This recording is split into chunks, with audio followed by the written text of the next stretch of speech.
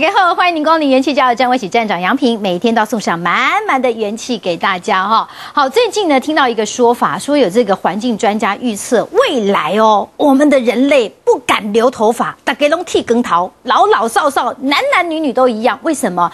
为什么都这个不敢留头发呢？因为我们的水资源被强烈的污染了。这样子的一个水呢非常少的情况之下，大家呢只有理着光头，然后甚至于呢也不敢洗车。哦，你知道吗？我们未来的世界是如此的可怕。今天我想，我们针对我们整个大环境，好好的来了解一下，来关心一下这方面的议题。当然，我想呢，媒体的观察是最重要，也是最细腻的。今天身边特别邀请到我的好朋友，也是我们的资深媒体人淑菲到节目当中。淑菲你好，杨你好，各位观众大家好，我是淑菲。好，淑菲呢，其实哇，看一下你的经历哦，曾经呢是这个专题记者资历有十八年，然后也得过大大小小的电视奖，包括呢曾经也担任过空服员哦。对对对，刚哇，毕业的时候也曾经是空姐耶。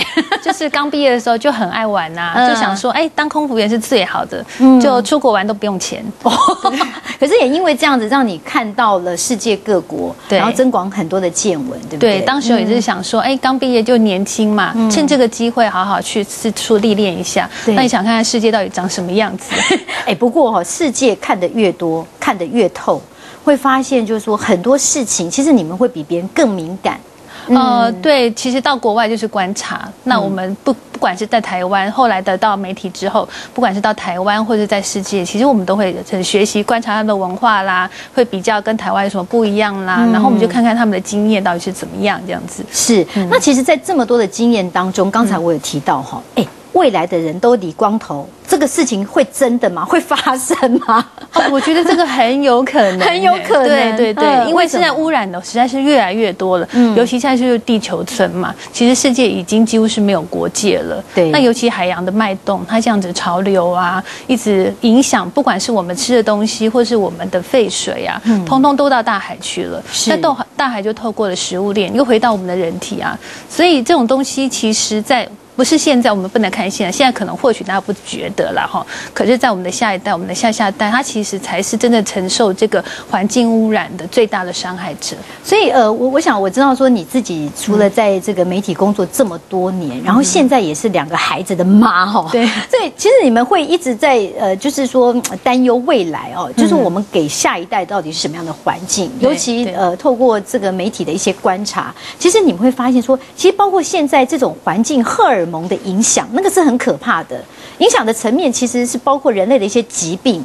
对还有包括身心灵，哎，英雄中就多爱呢。对，其实那个报道其实很多都在报道，包括现在啦，我们有看到很多，譬如说是过动儿啦，嗯那你看到那种自闭症啊，对，哇，连自闭症都不一定是天生的哦，都有可能是环境的毒害造成的。对，小朋友越来越奇怪的病越来越多，大家有没有发现？是就是那种没有听过的，或是各各种各样，大概就是现在的话，一些罕见疾病也越来越多、哦。这些其实哈都跟潜在环境的污染都有很大的关系哦。是那像是不孕症，是不是现在也好多？对对，不孕症啊，或者是说那种呃胎。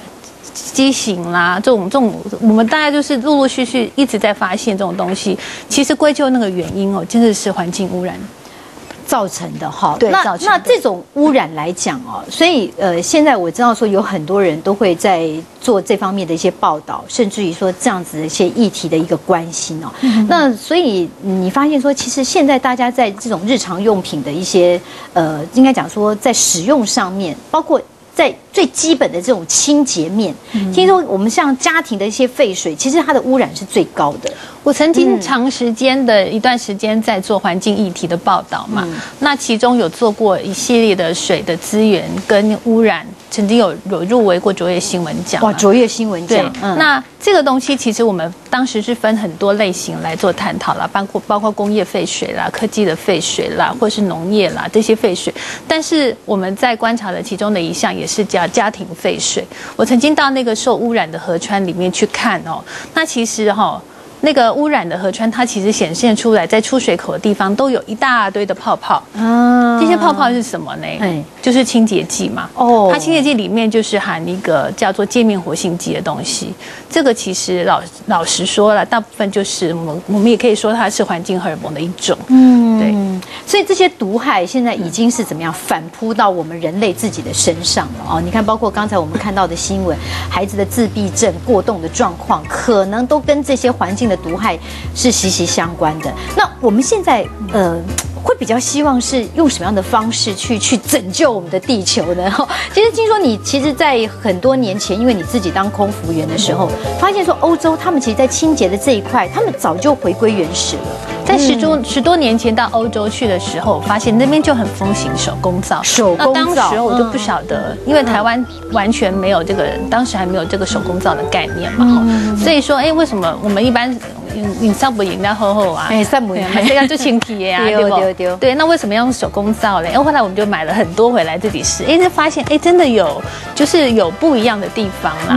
那因为我自己的小孩就是有都是过敏的体质嘛，是。然后老大就是从出生开始就非常严重，他那个每到换季的时候，他这个关节就会一直抓，一直抓，就是。就是那种男两宫什么异位性皮肤炎的孩子，对对对对，比较有这种现象。对对对，那他的关节都会老嘎掉个老疼。哎呦，阿东俺姑那东哦嗦嗦啊那，对，所以说其实那时候我就不知道怎么办才好。当时候我们其实呃虽然有在接触这样的东西，但是并不是很了解说，哎，到底污染是在哪边？那我们全家也都洗得很干净啊，对，就一直洗啊，然后说？哎，到底是怎么回事？而后来哎慢慢的改。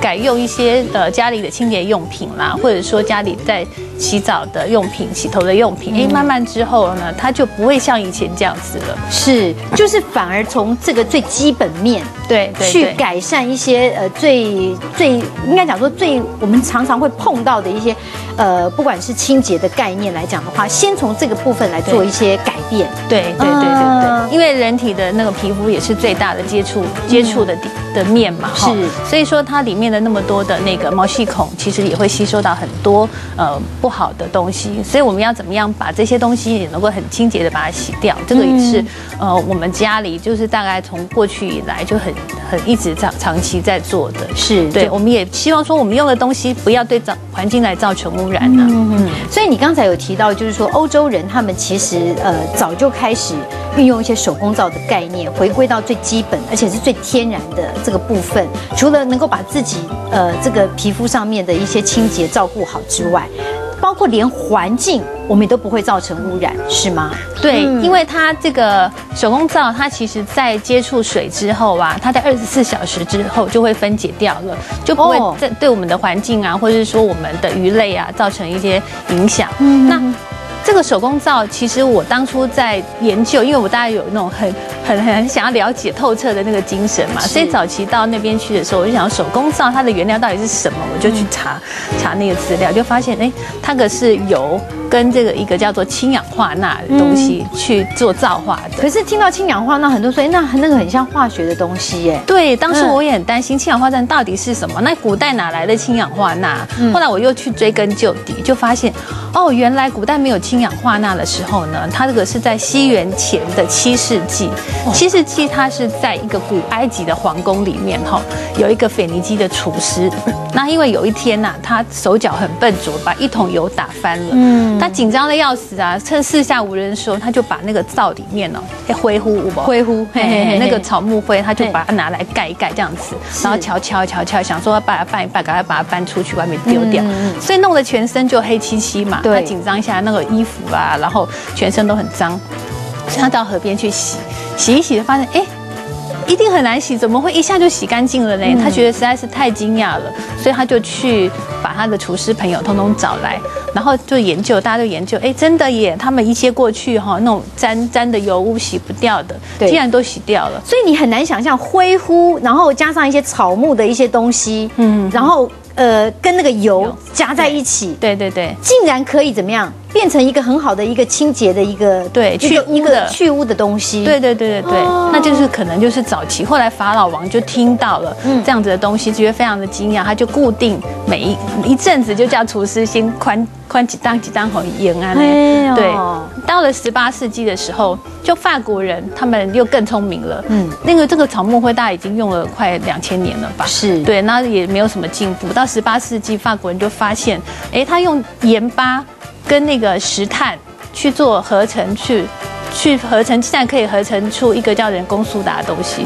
就可以取代了这个这个草木灰，从此就不用用的黑漆漆这样子。所以没有当时有没有这样子的一个这种无意中的一个发现的经验，就没有我们今天台面上有没有已经有这么多这么多像现在很多比较优质的一些手工皂，对。他们其实也是这么多年来的一个这个转变跟历练哦。对，其实到了嗯十九世纪，就德国人又更聪明了，是。他们就用那个那个食盐水去做电解，嗯，对，然后把那个电解出氢氧化钠，是。所以终于我才发现，哦，原来氢氧化钠也是从那个盐水里面去萃取提炼出来的，所以它其实不是我们所听到什么氢氧化钠就觉得它是化学的东西。对对对对对对对所以现在在这种手工皂这么风行哦，甚至于有很多呃呃人会觉得说，哎，我们去挑一些这么安全、这么环保的一些清洁用品，就从这里开始。对这个也就是我们媒体界其实一直在呼吁到大家，就是重视我们的环境。是那从我们最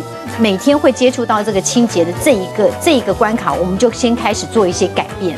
对对对好，所以今天我们会谈我们的环境，怎么样来爱我们的地球。当然，还有包括现在，刚才我们也看到了，现在这个手工皂也很受到大家的重视。对怎么样来在这个这么多的一个这个流行的风潮里头，去找到最优质的？我想这样的一个概念也在今天我们会跟大家分享，好不好？好持续锁定我们今天的这个环境要照顾哦。来，元气加油站，等着大家稍后回来。